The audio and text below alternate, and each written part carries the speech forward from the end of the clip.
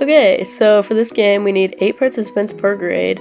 So there's going to be those two yellow cones that you see that you will stand behind with your fellow grade members, and there's a flag in the middle that you're trying to get to your side.